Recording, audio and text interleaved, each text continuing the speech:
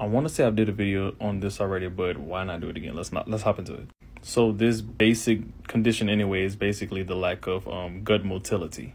And gut motility basically is the byproduct and or one of the main factors that the body uses to empty itself. So let's aim for something that has prokinetic properties and is anti-inflammatory, like ginger. Ginger plays a huge role in emptying out the bowels.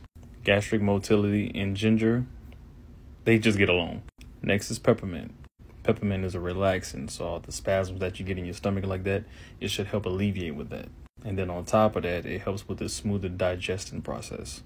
Now, I don't know if you've heard of FODMAP, but a low FODMAP diet would probably be beneficial for you. This restricts fermenting uh, carbohydrates. Well, let me say fermentable. And this may help reduce gas and bloating. So you should consume smaller, more frequent meals while still keeping them very gentle and easy for your stomach to digest.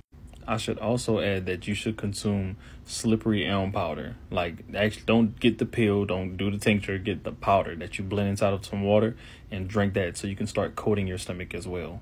And I feel like, needless to say, you have to be physical. You have to be outside. You have to do something that helps your body want to eliminate uh, the bowels. So, without crowding a thousand different things in three minutes worth of video, I'll just leave it at here. And if you have any other questions, just feel free to contact me by booking a consultation with me. God bless. I hope this helped you out.